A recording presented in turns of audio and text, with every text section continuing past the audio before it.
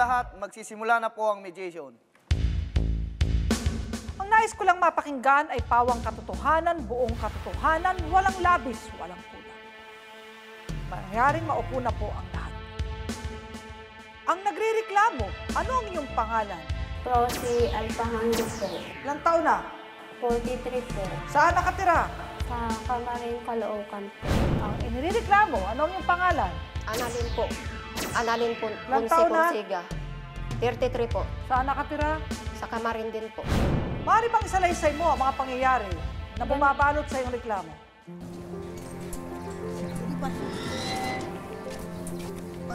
Sige, hay.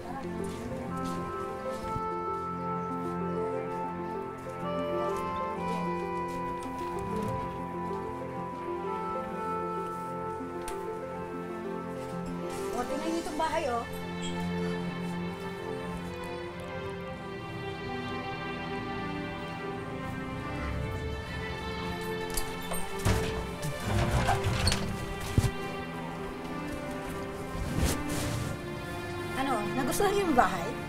Opo. Kukunin na po namin itong bahay.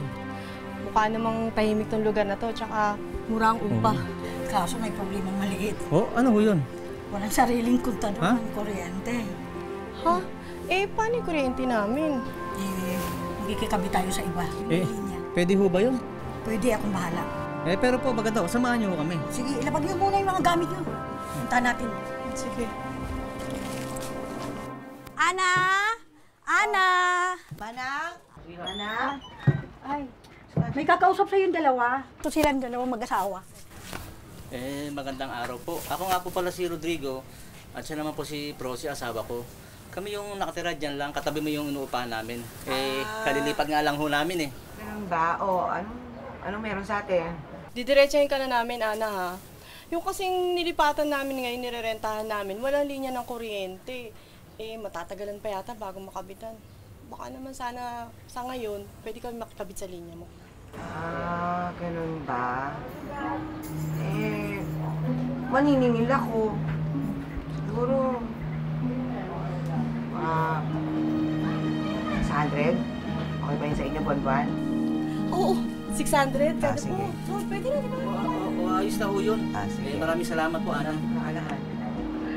Rosie! Rosie!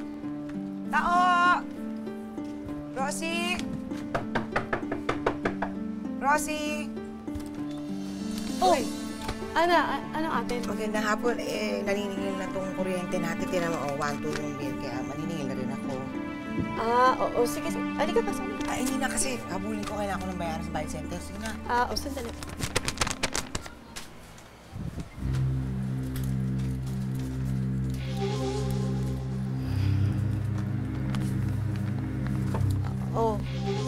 600 sa kuryente.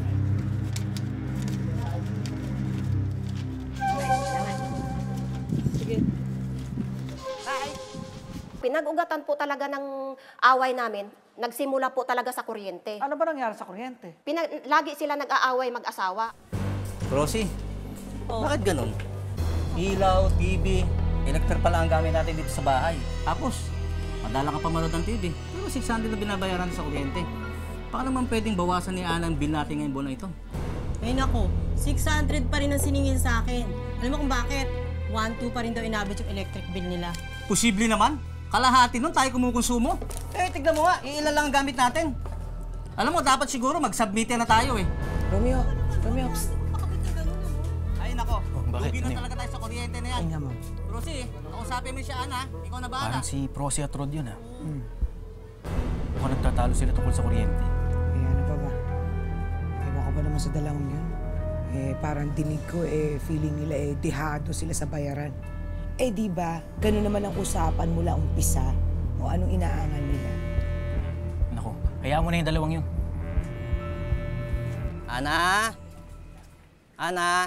Ah, Mang Roy, ikaw ba yan? Oo, ako. Uy, anong sa atin? Ah, didiretso na kita. Mm. Eh, papaputo ko na sana yung linya ng kuryente namin. Ha? Eh, bakit? Eh, kasi magpapakabit na kami ng sariling linya para rin sa kaligtasan natin dito. Ah, ganun ba? O siya, sige.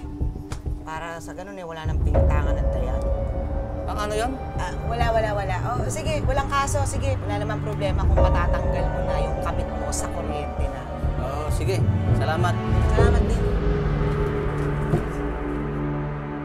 Taga, wala kang kasundo doon, ka. kapitbahay. Wala kang Talaga. kakaano doon, talaga. Talaga. Talaga. Kung may Wala- katampuhan ako, ikaw, wala kang Wala alam. kang kakapitbahay doon. Kagalit sa iyo lahat nabubugbog. ng kapitbahay mo doon. mo.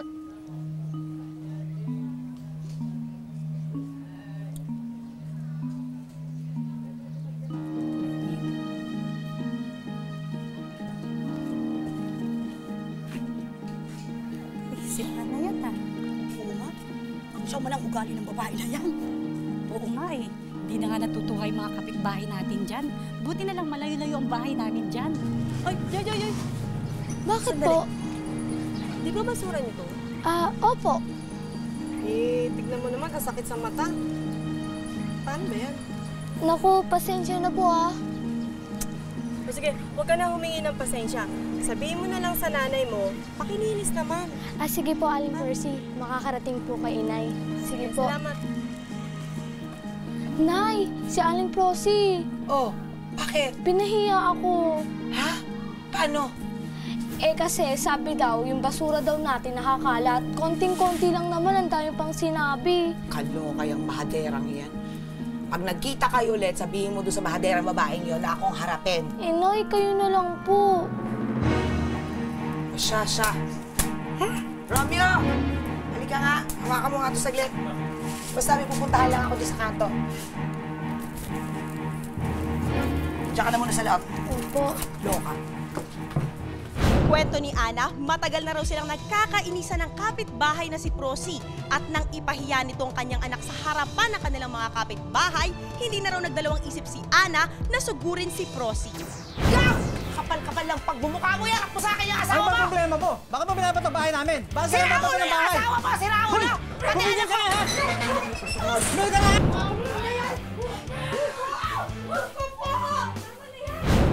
Tulungan niyo ako! Nalatas mo na ang asawa ko! Dali!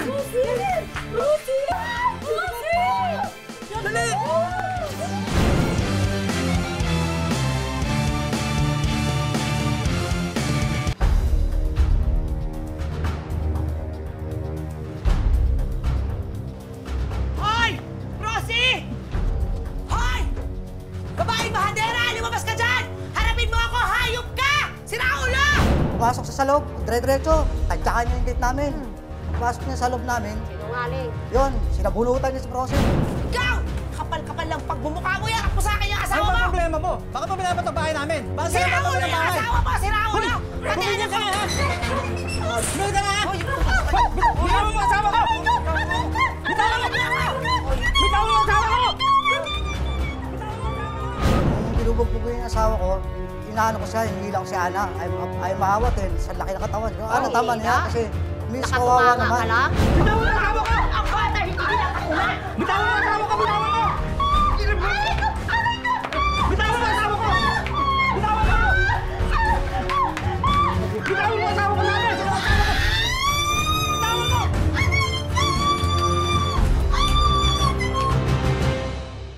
Palpalas po ako, nakita ko yung asawa niya pumasok sa amin. Ikaw, Romeo, paki ano mo naman yung asawa mo. Kasi pumasok sa loob ng bahay namin, ano ba yung klase na yan? Yung, yung asawa mo, sabi niya, ga, ano, ang tama na yan. Sabi niya, ay ano, nakatayo lang yung asawa niya. Hindi niya, Pumasok ang asawa ko dalawa, para kunin hindi niya ako. tinulungan. May dala pa yung, yung asawa ko ng sanggol. niya- Ana! Ano ba yan? Tama na yan! Nakahawak po kami dalawa sa, siya, sa buhok, ako, buhok ko eh. Hindi ko siya Oo, binitawan bali eh. sinakyan ka na, parang kabayo, ginanon ka. Abay, ibang klase, naging kabayo ka pa.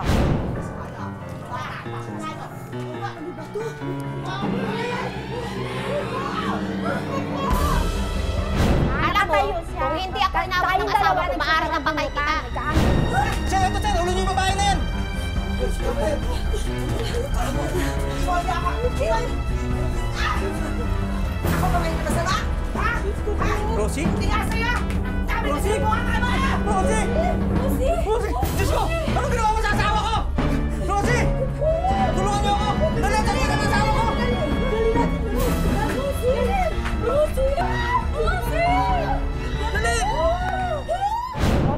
Dali! O pagkatapos Opo, nawala ka ba ng malay? Opo, nawalan po ako ng malay. Ito yung Artihan lang yun. Eh, yung asawa mo, anong ginawa sa'yo? Wala. Nawala ka ng malay. Katunganga lang yan. Hindi, inano po ako. Kinuha po ako doon sa ano. Inano niya po ako doon sa, dinala po ako sa ospital. Magkano nagastos niyo?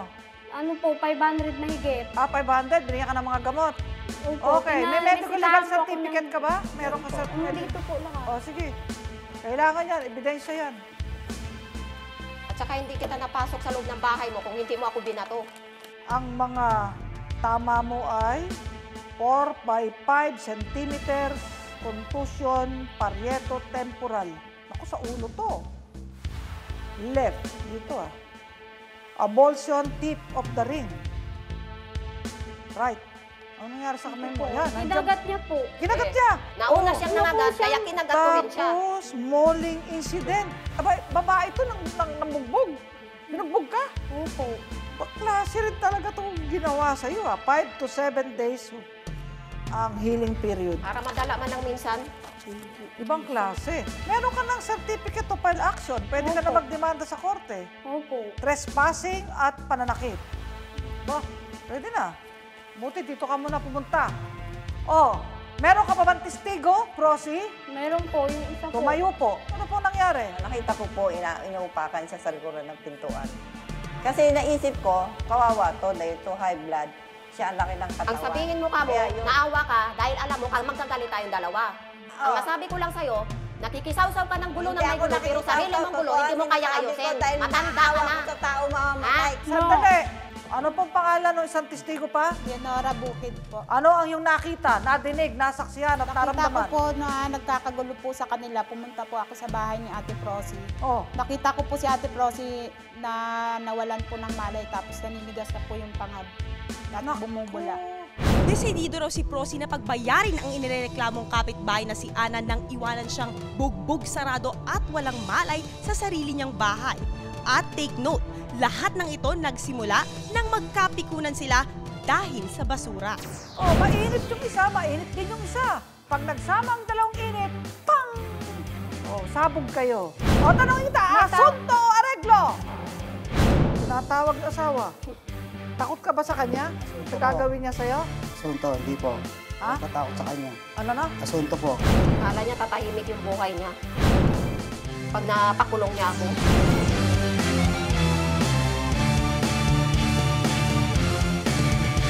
Inirereklamo ni Prosy ang kapitbahay niyang si Ana dahil sa panunugod at pamumugbog nito sa kanya sa loob ng sarili niyang bahay.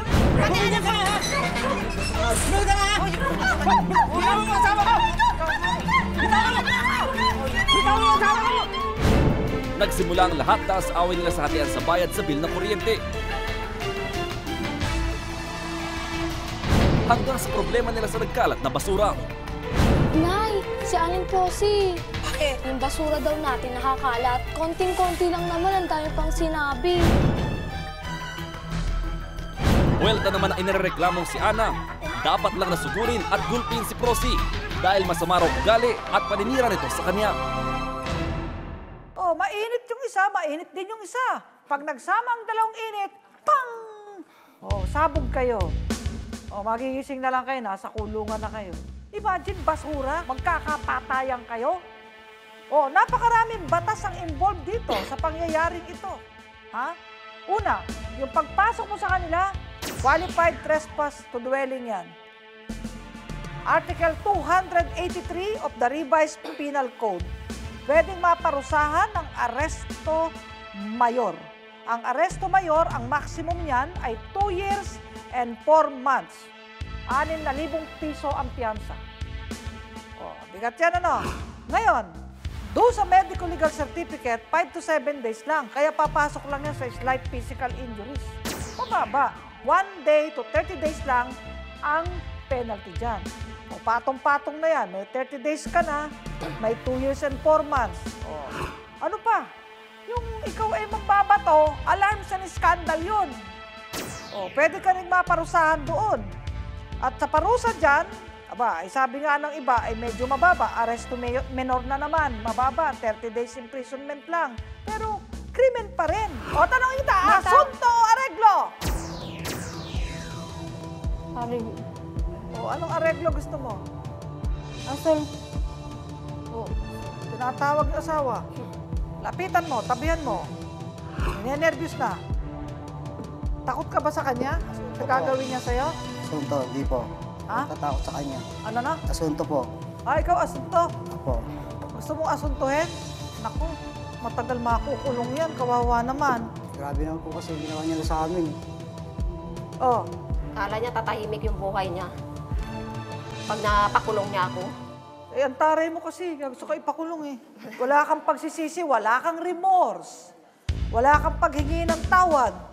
Ikaw, asunto, areglo. Areglo, ma'am? O, sige, anong masasabi mo sa kanila para maghilom ang tampo, ang sama ng loob, ang sakit na inyukol mo sa katawan ni Alim Prosi? Yung wala na pakialaman, na hindi na mauulit ito. Alam niyo maulit? Yung gulo na ito. Na Oh. hindi na, kung sakali man na, ano, hindi na Hindi ka aabot man sa lang hingi sakitan. ng tawad na halos mapatay mo yan. Na ospital, limandaan. Bumili ng gamot, limandaan. O, di bayaran mo. Para walang asunto. Yun man lang, eh, hustisya na sa naganap na pangangabayo mo. Natumba siya, mami, kaya siya na, ano, Ano? natumba siya. O, iba na naman, gumagawa ka na ng iba kwento.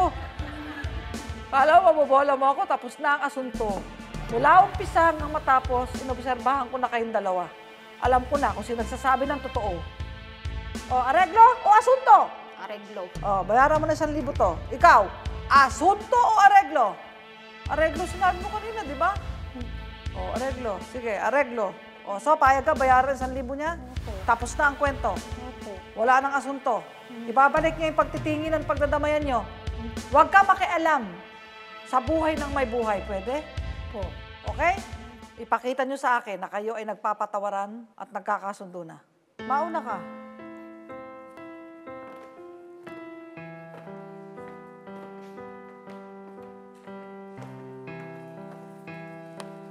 Una wala. Humingi na ako ng pasensya sa'yo. Kung ano man ang nagawa ko sa'yo. O, anong sagot mo naman, Prosi? Mm, okay lang po sa akin.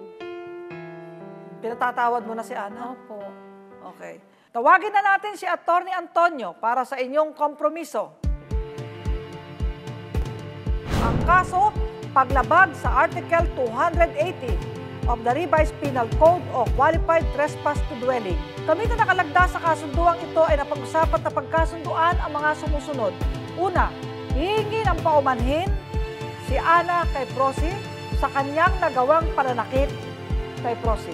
Ikalawa, babayaran ni Ana si Prosi ng nagasto sa pagpapagamot at pagpapaospital ng halagang 1,000 piso sa loob ng isang linggo mula ngayon. Ikatlo, hindi naman makikialam na si Prosi sa buhay ng may buhay, lalo na ng kanyang mga kapitbahay. At panghuli, ibabalik ni Prosi at Ana ang kanilang pagtitinginan at pagdadamayan bilang magkakapitbahay na parang magkakapatid.